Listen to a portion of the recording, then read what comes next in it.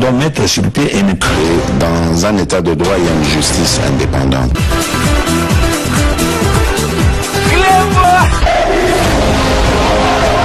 ce n'est pas pour rien qu'on fait des causes ya bibo likambo kopo wana osali yango yo oza mwana mai na nga c'est vrai totangaka na yo du vambre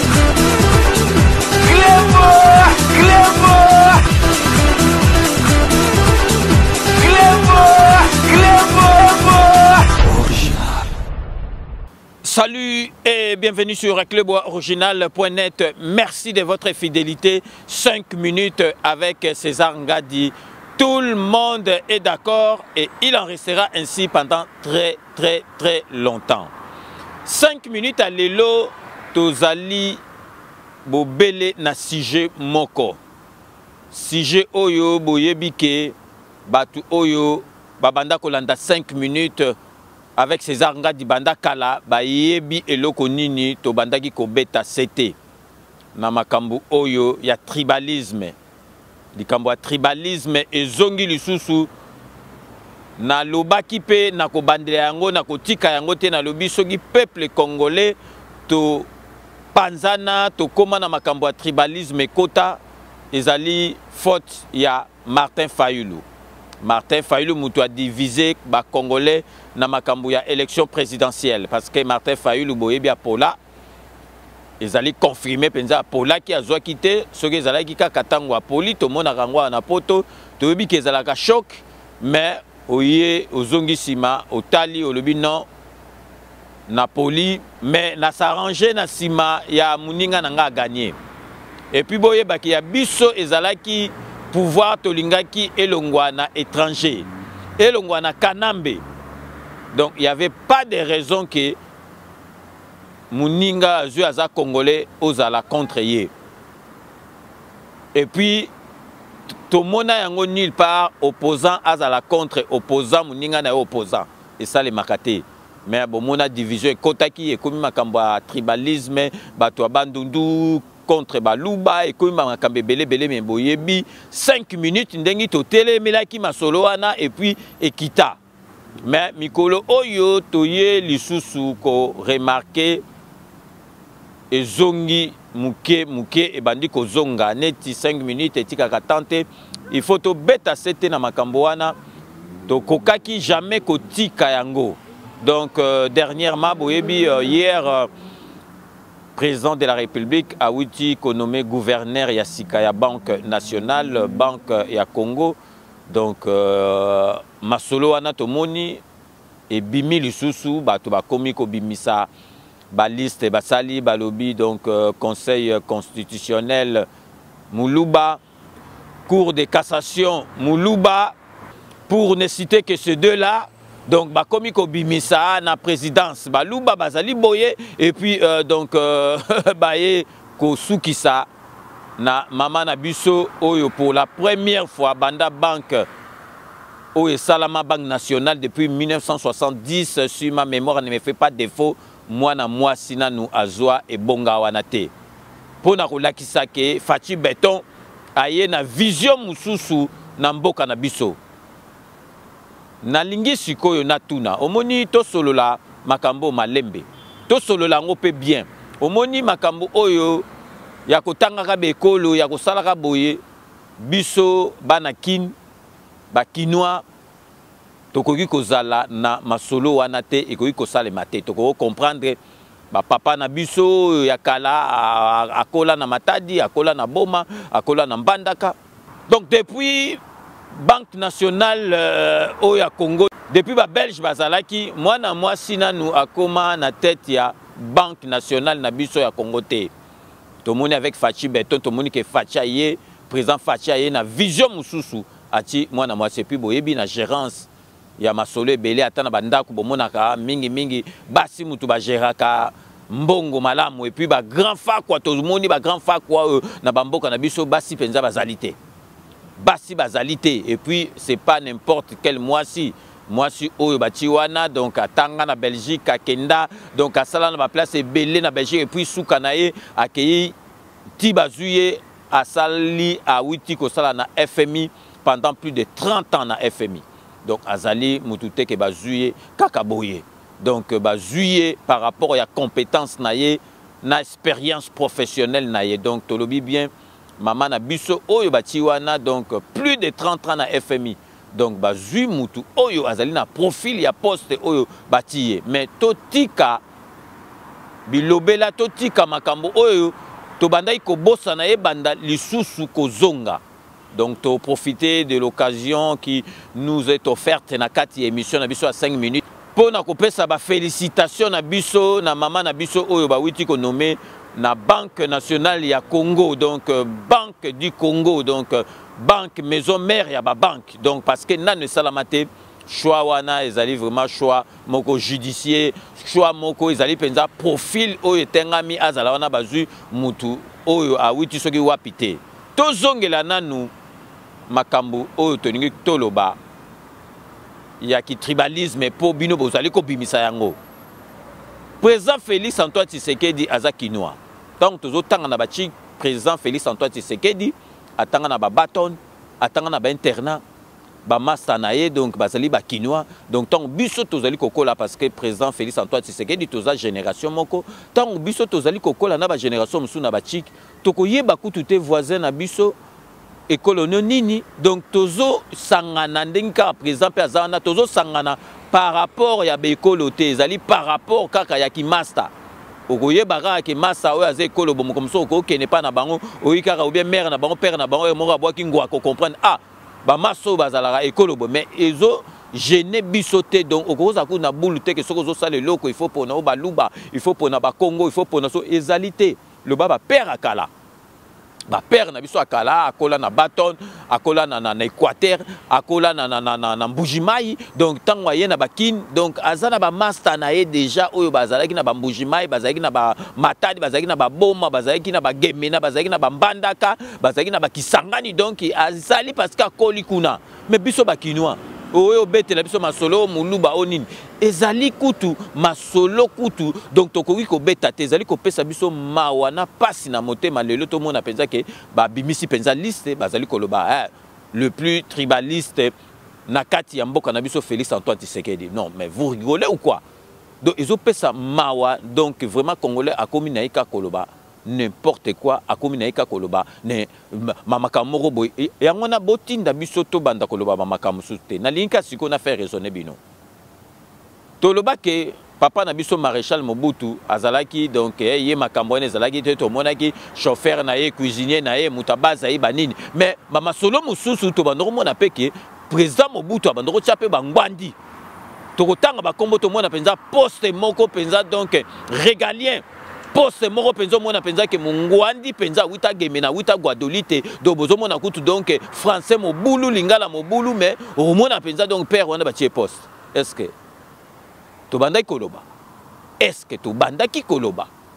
tobandaki koloba te mais kanambe aye awa azokozwa bato moko soki bawuta wapi mingi misusu barwandais do bazotya bango na baposte estce bato babandaki koloba moi je préfère batya moluba na poste ke batya étranger parce que moluba azali congolais neti muyombe neti euh, mongo neti mushwahili neti mungala donc azali congolais donc bino sikoyo bato oyo bazoloba makambo wana donc bino bozo donc mpo na bino sikoyo moluba aza congolais te mais sikoyo tokende parce que bino bolingi tokita euh, vraiment bana masolo yango sikoyo tobeta mpenza masolo sikoyo tozosolola mpenza na bino soki totali bekolo na mboka na biso bekolo oyo baza bato ya mayele bekolo baza bato ya mayele muluba aza na kati na kasi muluba aza na kati mukongo aza na kati mutetela aza na kati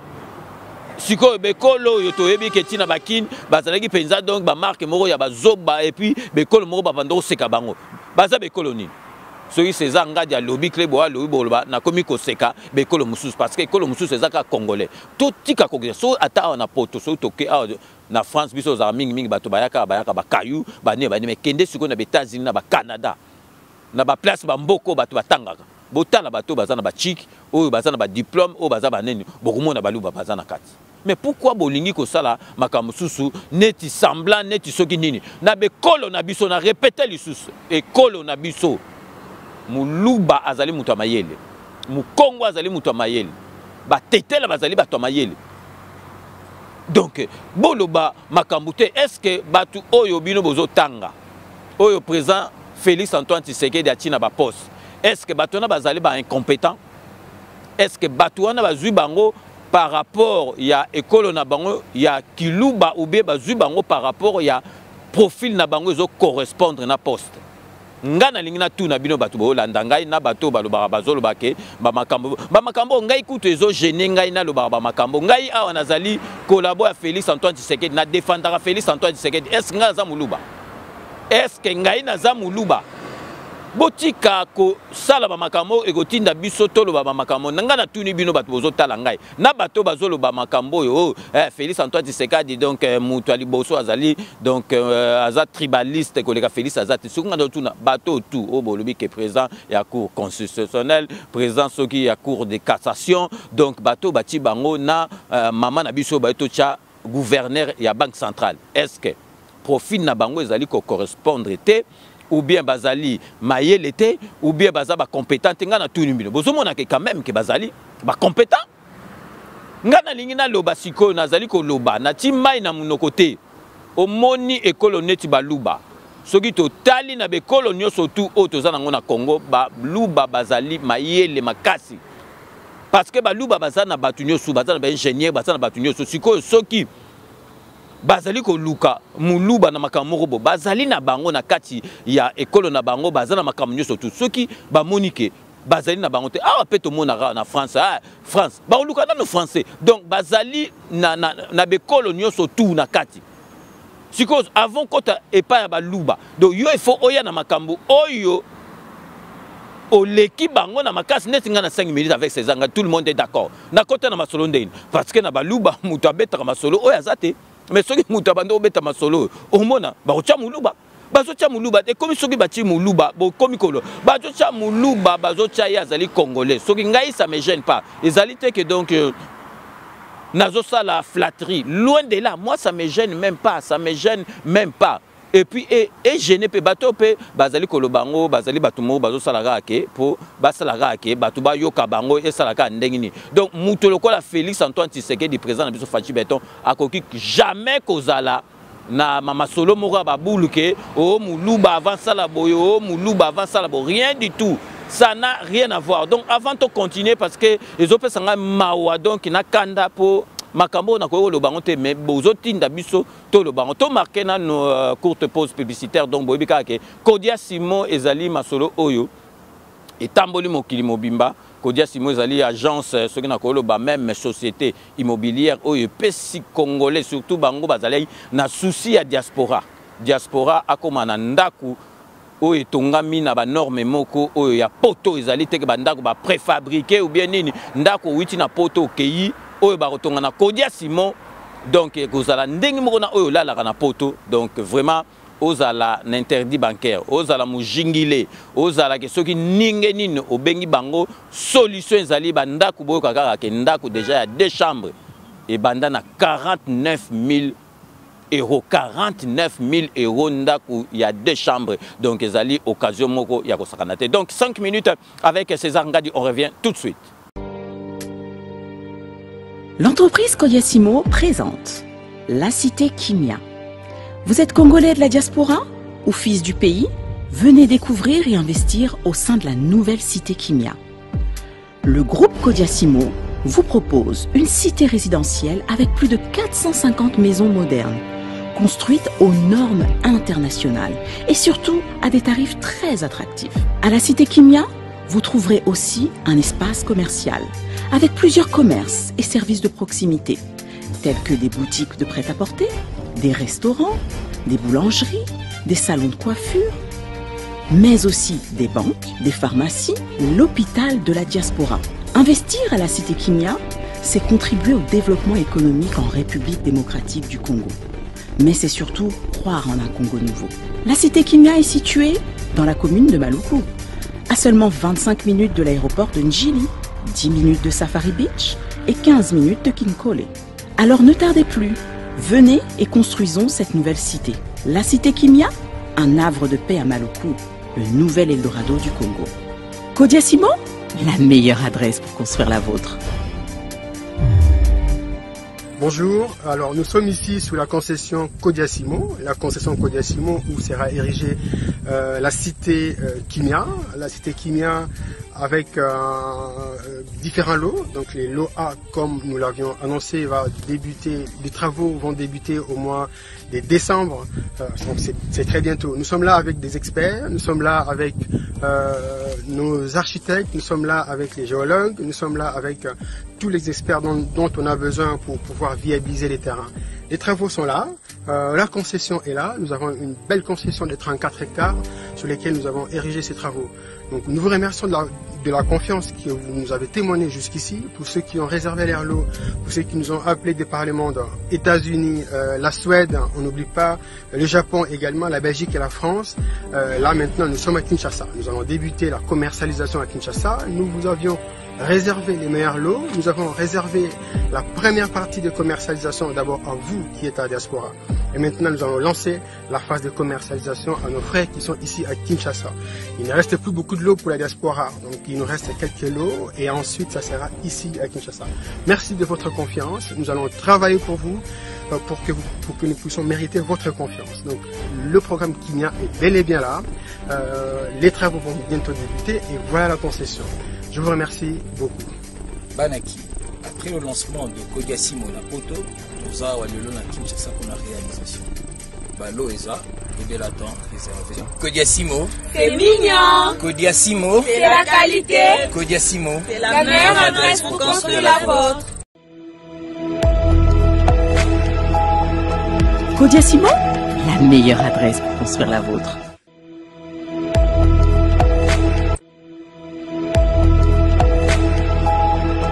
Codia Ciment,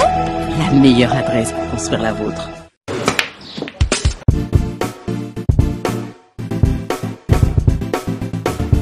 Noël nakomi. Oh, bokomi déjà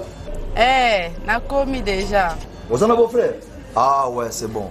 Ah, n'a pas soyez. Boya na Bali Center.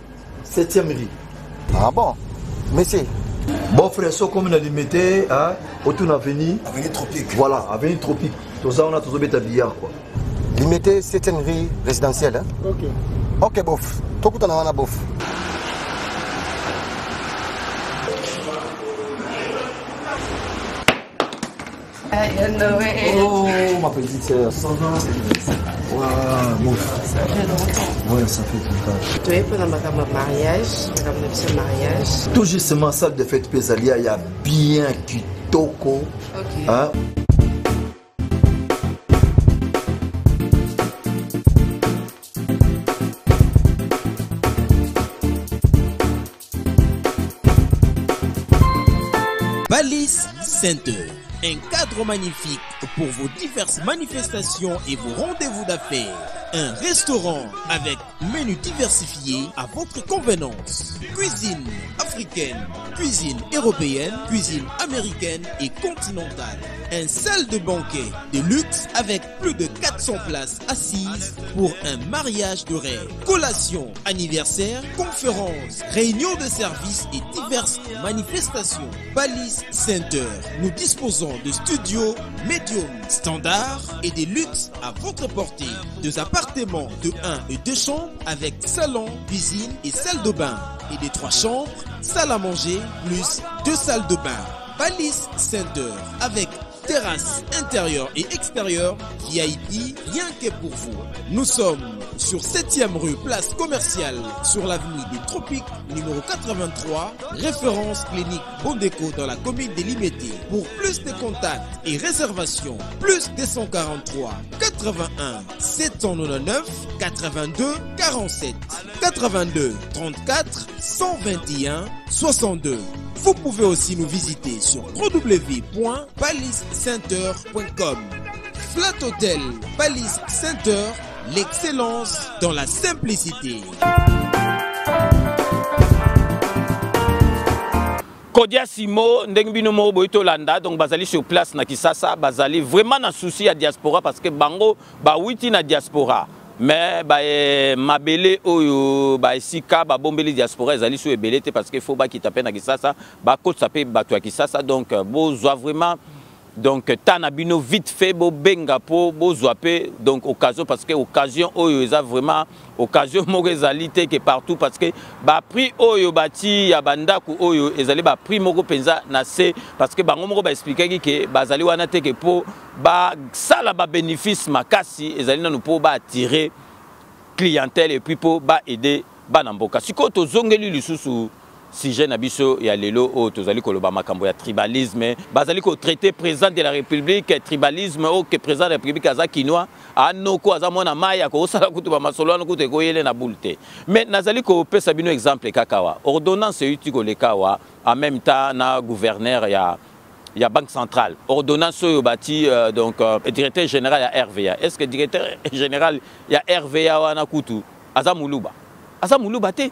aza muluba te epuis sikoyo ekomi donc eh, soki oza muluba yebaka ke mpo banome ekomi mpasi bino moko bozomona ke donc euh, ordonnance oyo tobima sikoyo na rva est ce que azali muluba azali muluba te epuis sikoyo oyebi ke mpenza muluba akomi mpenza ke yebaka ke mpo félix antoine tshisekedi anome muluba ekomi pasi parce que ye moko nayebi te bon aza na bulu wana te mais ekomi kaka soki ebimi ya moluba donc soki oza moluba yebaka ke okomi na moins de chance que félix antoine sekeda nomme est ce que ezali normal ezali normal te bato mosusu bazosepela ndenge donc kanambe abandoko nomme ba rwandais mboka na biso ekomaki infiltré donc banda armée ti na suka bino bozali komona yango normal napesi bino lisusu exemple botala periode mobutu ba premier ministre oyo ba leka na période ya Mobutu la plupart baza baluba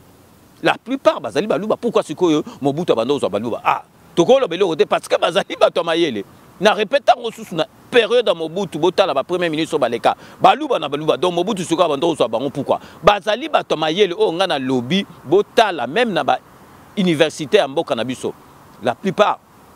oyo bakomi na balikolo wana baluba na baluba malheureusement ezali au détriment ya, ya, ya, ya, ya bekolo mosusu donc on n'y perd rien baluba na baluba motu batonta na bauniversité mobutu bapremier ministre na ye botanga bino mo boyebi baluba na baluba oyo ngai nayebisi bino ke baluba bazali mayele ebele Ata na poto okomona bato ebele na ba Canada wana na ba Etats Unis baluba baluba moto batanga batike ebele sikoyo olie bino bosepela ke moluba azo represente botala kaka botala meme na makambo ebele ebele toke na bandule na makambo ebele moluba azali partout moluba azali na kategorie nyonso tu ya masolo na kati ya makambo na bango ya baluba donc, ba, donc bazali partout sikoyo yo so olingi okota na circuit ya baluba yo sikoyo yokanisi ata boba baluba bongo bamongo bamongo bazwaka bango na bango te mongo soki azwi esika okomona bamongo ndenge batonda te muyombe soki azwi esika okomona ndenge eh, mwasa bit boma ndenge yotonda te ezali donc ezali egene te bazali bana mboka bazali bana mboka donc ekomi kaka makambo mosusu bozoloba donc ezali mpasi na mawa na motema nalobi baethnie oyo donc bekolo oyo batribu oyo Na mboka na biso bazali mayele, muluba azali, mukongo azali, mutetela azali donc okomona na poto bato batanga bachik makambo ebele ebele ntina banini donc mpo omona mpenza mutetela zoba eza rare muluba zoba eza rare mokongwa zoba eza rare mais ekolo mosusu wana nakoloba yango te parce que ekoma masolo mosusu donc ezali mawa trop donc botika masolo wana parce que biso tobanda kobeta sete na makambo wana tokotika te donc vraiment tribalisme est s'installer na makambo nyoso tout ekomi muluba na bisi bino muluba komi na danger po ba nommer hein muluba komi na danger po ba nommer mais na yebisi bino bato ba numa oh Félix Antoine Tshisekedi a noma baluba est-ce que ba nommer bango ka po ba ba, ba, baza baluba ou bien profil na bango ezali ko correspondre na ba poste na bango mama na biso baye totya na, na gouverneur comme gouverneur ya banque donc 32 ans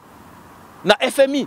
donc sikoyo mwasi donc bino bokanisi mpenza donc ye akoya na mama solo akosakama donc aza kaka congolaise na, na, na, na, na kombo na nini me motu na ye ezofonctionne euh, na bamarke ya fmi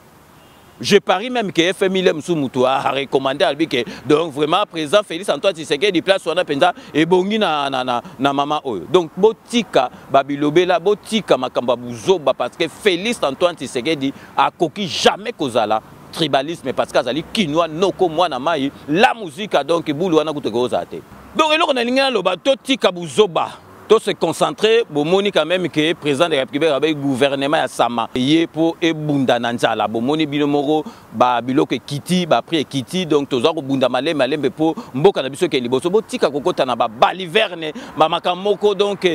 futilité biloko moko ezanga tina donc muluba eh, pourquoi muluba pourquoi donc bino bondo sepela kanambe tanga zo chaba rwandais na mboka na biso bino bondo sepela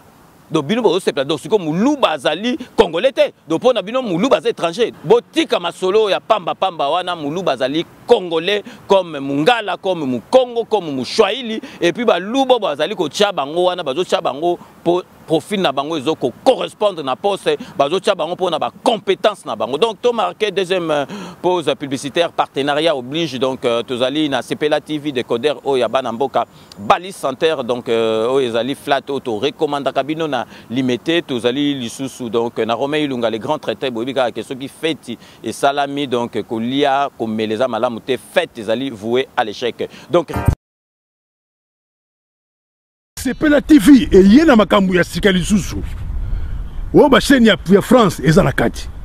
basheni ya congo eza na kati basheni ya londres eza na kati olingi omona makambo ya politiki ya sika o parti aa eza na kati o parti bb OCFAIO eza na kati ya Sepela TV. Bouquet comme ya muke boye, otie na poche voyager nango keno partout lingi. Na bouquet ya Sepela TV. Sepela TV. Mema biso ndenge ozo mema biso wana kaka machine madaka daka. Sepela TV. Bienvenue dans le monde de Sepela TV. Sepela TV est le décodeur qui vous permet de suivre les chaînes du Congo en direct de la diaspora.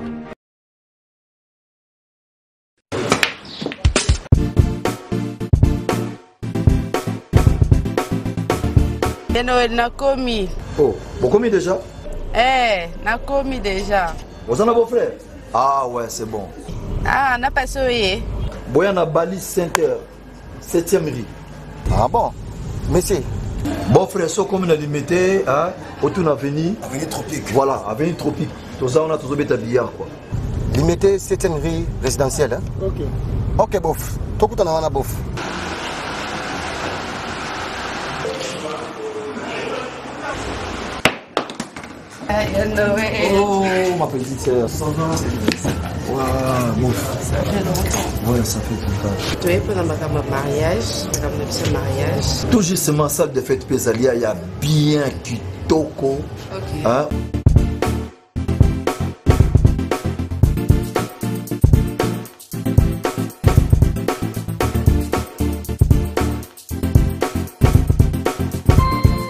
Valise Center un cadre magnifique pour vos diverses manifestations et vos rendez-vous d'affaires. Un restaurant avec menu diversifié à votre convenance. Cuisine africaine, cuisine européenne, cuisine américaine et continentale. Un salle de banquet de luxe avec plus de 400 places assises pour un mariage de rêve. Collation, anniversaire, conférence, réunion de service et diverses manifestations. Balise Center. Nous disposons de studios médium standard et des luxe à votre portée de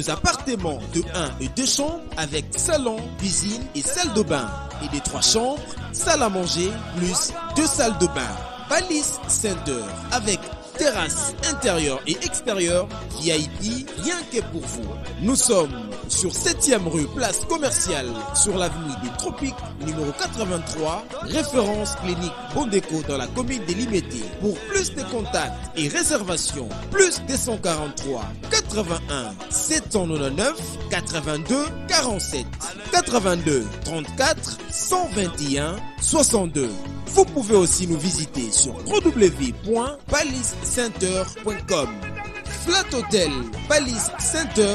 l'excellence dans la simplicité.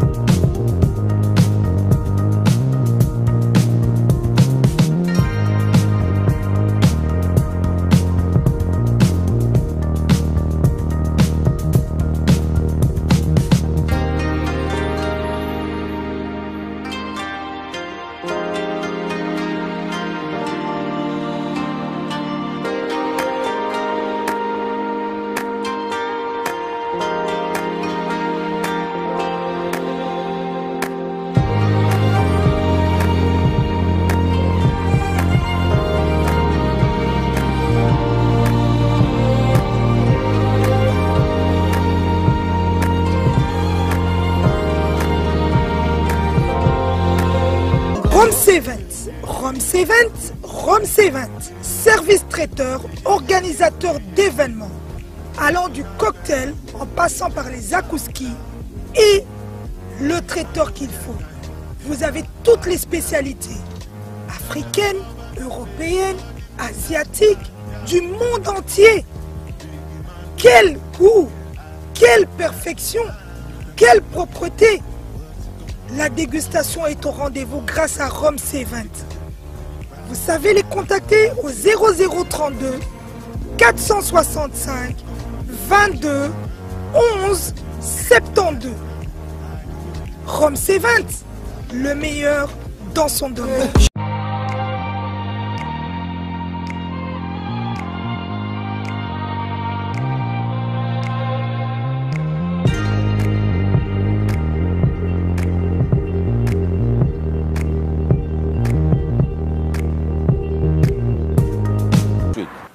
Bon, bana mai Feli Mosengo, fret maritime, temps à temps boyebi ke na lekaka na émission ya V César Ngadi, mais moi ba empêchement mike mike à plan d'ita ya Kayou na makambo ya business oyo tokosala mpo na koya na un de plus mpo na mboka Eloko na oyebisa bana mai ke toza ko se organiser, toza kotia li telephone ya bureau oyo ke moto akozala na facilite ya kobenga na bureau ya kozwa information soki oza na besoin ya kotinda eloko ou bien soki oza na besoin ya kozwa information eloko ekendaki parce que problème eza nini Soyi na nga na caillou. Soki mwana mayi obengi telephone eza ya kokanga.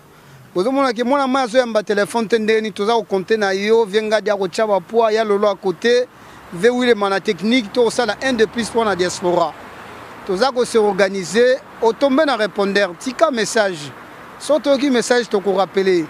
mutu mosusu ako benga boye a tomber na repondeur atiki message te tango olingi o rappeler ye na midi na pause oko benga ye na pokwa mwana mayi azo yamba te Sikoyo ozoyeba te posa ya mutu ezalaki nini? Mutu abengaki yo pona cause nini? Agence eza ko fonctionner. Felly Mosengo tindika tindika que que soit toza na mwa ba difficulte bana mayi mususu ba koya na ba biloko ba voiture vole. Tango conteneur ekoma na Matadi conteneur ba kangi na Interpol. Tango to kolinga to saka ba demarche ya kozwa ba avocat ya kokende boye eza ba gaspillage. Na poto mbongo eza pasi. Bana mayi baza kobunda male malembe osoyi mwa eloko otindi ekomaka na mboka bosombaka biloko ya voie normale bolukaka te biloko oyo ya ba problème tango bokoya nango totie na contenaire ekomi na port ekomi na ba problème Bon, bana mai naye ko passer message. Message naza ko passer eza nini? Entre ba patriotes, bana mboka oyo bazali awa, ndeko moko ayelaki biso voiture. Tozwi voiture ndenge ezalaka totie na conteneur. Tosali declaration ndenge ezalaka ya douane awa voiture ekomi na port ya Matadi na kati ya conteneur. Conteneur ezalaki bloqué parce que ezalaki na voiture moko na kati na Interpol, voiture ezalaki voiture volée. Sikoyo voiture moko ekangisi biloko ya bato nyonso. Lelo nakomaki na problème na kati ya port ya Matadi eyala awa na niveau ya déclaration ya douane ba conteneurs nyonso oyo ezokende na kombo na ngai ezali bloqué baza ko fouiller yango na kati ya douane awa na port nanu awa mpo ba vérifier ba biloko eza na kati est-ce que eza na ba voiture volée obe eza na ba voiture oyo ezali ya voie normale lelo na déclaration ya douane awa tosengaka carte d'identité non gage Euh, carte église babiloko wana nyonso totindaka mpa transitaire transitaire atransmettre yango na niveau ya douane mais nazalaki na bapro moko ezalaki très sérieux très sérieux bacontener ekangamai na port ya matadi contener esali 4 mois na port ya matadi bozala na place na nga 4 mois na port ya matadi magasinage combien location ya armateur combien yango moni bana mai baodeklare babiloko ezowumela babiloko ezowumela ba biloko na tindaka eza na kombo na ngai kombo ya société tango ba tala kombo na ngai ba biloko nyonso zo leka na circuit douanier na kombo na nga ekomi très surveillance moko tu peux pas imaginer eza na niveau ya awa eza na niveau ya matadi pona nini eza kaka bana mai baye na ba cadeau empoisonné Colis oyebi ke eloko eza nango ya voie normal te oye otie contenaire pe longwa ekomi contenaire bakangi kozua avocat eza ngai ba demarche nioso eza ngai kofuta magasinage eza ngai kofuta location ya ya contenaire eza ngai parce que contenaire ezalaka na delai contenaire ezalaka na delai ya mwa une semaine soki ekomi na port ya Matadi le temps bosala ba demarche 4 jours ebima bosala depotage contenaire ezonga Soki conteneur evandi na marchandise na kati ba benga yango location ya conteneur. Nani mutu afuti? Bo meka ko comprendre nanu ba cas oyo tozo kutana na yango oyebi ke rdc eloko ya makasi mais oyeba ke rdc eloko ya makasi toza pe na ba cas ya makasi donc faut ozala na motema po supporter yango po nako lekaka te na emission awa naloba ke intel ao devoir nga mbongo intel ao devoir nga mbongo nako sala yango te parce que personnalité ya mutu na dignité ya mutu eza na valeur ya 1000 euros te eza na valeur ya 2000 euros te Oyo nioso toza komona toza ko souffrir kaka ngai na ba vieux na ngai ya lolo mon conseiller principal soyi souci ali ya lolo tala ya lolo ya lolo ya lolo mais nzambe ako sunga naza na entourage ya ba vieux ba vieux bako encadrer petit na bango malem malembe ekosimba toko baisser les bras te kisalu ebanda toujours nde tolobaki fatshi beton Tozo continuer malembe malembe ekosimba. Bon omoni système oyo tosalaki oyo soki otali na histoire ya diaspora na Europe eza mbala ya liboso un compatriote congolais asala agence ya fret ya ko faciliter batu eloko mutu opesi ata 500 eloko ekeyi mais tosali yango retour nango eza nini retour nango ezali mabe parce que deception ezali na 90% To changer strategie.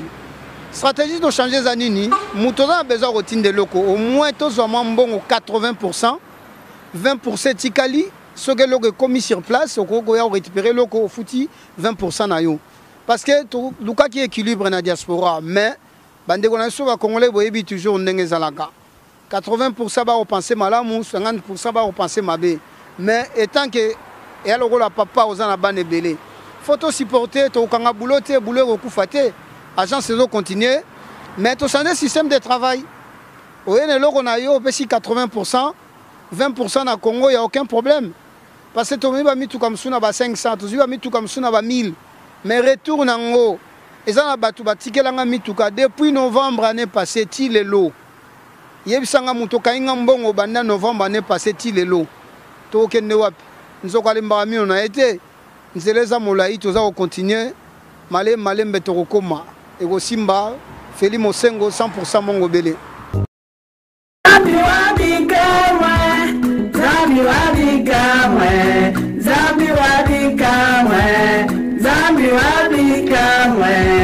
Zambi walikamwe aleluya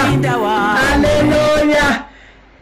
bana bikamwa bana bikamwa na na mingi ya koloba te nazali kosenga na peuple dedie nyonso zambi alobi combat un bon combat pour avoir la victoire boya boya na site na biso ya kalanga grace bikamwa na kati na youtube boyoka bana na nzambe tozoluka delivrance butu na moi Tozo luka delivrance butu na moi boya bososola quelle est la vraie delivrance. Bana Nzambe mingi naloba ezali te boya boyoka ndenge bana na bato na kati ya mokili bazotatola makambo ya somo bazodenonce bien aime c'est bien de chercher un homme pour, la de, pour ta délivrance moi je cherchais ma délivrance pendant trois ans je n'ai pas trouvé ma délivrance Je devais se repentir.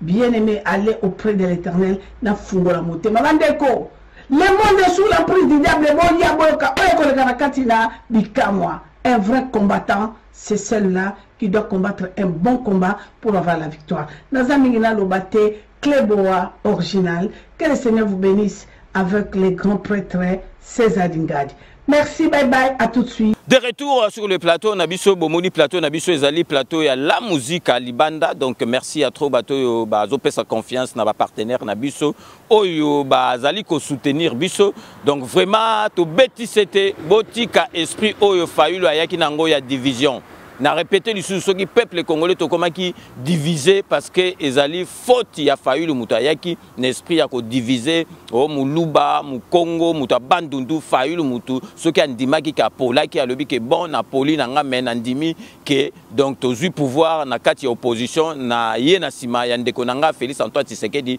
na motema oyo toyebi félix antoine tshisekedi le mosusu fayulu yango ozali mosusu premier ministre mbele mosusu premier ministre fayulu yango ozala le mosusu azwa poste moko ya bien ya bien mais motema mabe elingaki division mais akokaki te mais bozongisa lisusu esprit wana te mais avant tokóma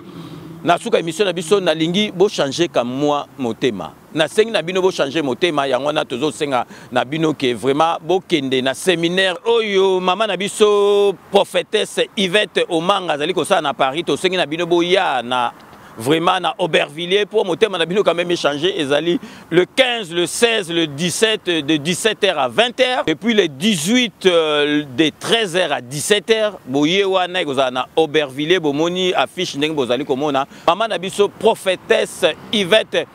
omanga azosala seminaire moko monene tosengi na bino bozala wana mpo motema na bino ebongwama donc euh, tokomi presque à fin ya émission na biso nazali korécapitule donc euh, totika buzoba to se concentrer ndenge mboka na biso ezali kokende botala bamboka mosusu basénégal bamboka mosusu batgv ekoma donc euh, batrain à grande vitesse bamétro batram donc biso mpe na mboka na biso à partir ya gare centrale donc na gombe ntina kitambo tokotya mpe tram tokotya mpe tram après tobandi mpe osala baautorute euh, autorute a1 ebandi kisasa matadi a2 ebandi kisasa donc euh, bandundu baautorute mosusu ebanda mpe donc todeveloppe mboka olie tokɔta vraiment na bafutilité moko boye eh, moluba est ce que moluba azali congolais te est ce que moluba azali congolais te bino soki bati moluba est ce que ezoderange mpo na nini ezo derange po na nini muluba azali congolais azali pe na droit et puis bato tout bino bozali kotanga o oh, buluba muluba bati bati bango par rapport ya ba compétence na bango par rapport le par rapport ya profil na bango e correspondre na poste donc vraiment lelo yango wana tolingaki kobeta sete parce que tobandaki kobeta sete oyo tobandaki kobeta sete oyo totikaki yango te Tolingaki tobeta sete parce que tomoni ebandi kozonga suite ya nomination ya mama na biso gouverneur ya banque centrale donc tokomi na suka ya émission na biso ya lelo boyebi kaka soki nakomi na suka base base jamais tokoki kotika yango base yango nde makambo base yango moto esalaka mpenza ke 5 minutes ezala donc tokobanda na normandie mpo na kopesa donc euh, Thomas Mbona, Thomas Mbona, merci na nyoso tout au sala rapport na 5 minutes avec César Ngadi donc euh, to tikali toujours awa na kati ya France mpo na kopesa dokotolo na biso jean-paul jamba jean-paul jamba merci ya trop na nyonso tu osalaka mpo na 5 minutes avec césar ngai tokei na kati ya scandinavie mpo na kopesa donc peti na biso statut jamba statut jamba peti na ngai statut jamba merci na nyonso tu osalaka nayebi ke kuna mpenza staff ovandisa ya 5 minutes avec César Ngadi statut jamba merci na nyoso tout osalaka mpo na 5 minutes avec César Ngadi totikali toujours na kati ya Scandinavie mpo na kopesa Igwe chef béton Igwe chef béton merci na nyoso tout osalaka surtout ba commentaire na yo na kati ya YouTube esalaka vraiment esengo elakisi mpenza kozali na patriotisme Igwe chef béton merci na fidelité na 5 minutes avec César Ngai toke na kati ya London pona kopesa mbote na Jeannot Matundu Jeannot Matundu merci na nyoso tout osalaka pona 5 minutes avec César Ngadi totikali toujours na kati ya Londres pona kopesa l'honorable Jean Moutala l'honorable Jean Moutala merci na nyoso osalaka pona 5 minutes avec César Ngadi tokosuki sa na kati espagne pour sa beloti mavungu vrai chéri beloti mavungu merci surtout au sala rapport dans 5 minutes avec césar ngadi donc c'est ainsi que s'achève ce 5 minutes avec césar ngadi merci de l'avoir suivi cette émission a été réalisée par yalolo chouami assisté de Willy Kunda. Nous allons nous retrouver avec grand plaisir dans 24 heures pour un nouveau numéro. D'ici là, portez-vous bien et à très bientôt. N'oubliez pas, tout le monde est d'accord et il en restera ainsi pendant très très longtemps. Bobo Sanate, Kanambe, Akozwa, Masolo, Nambuchu, Penadikos.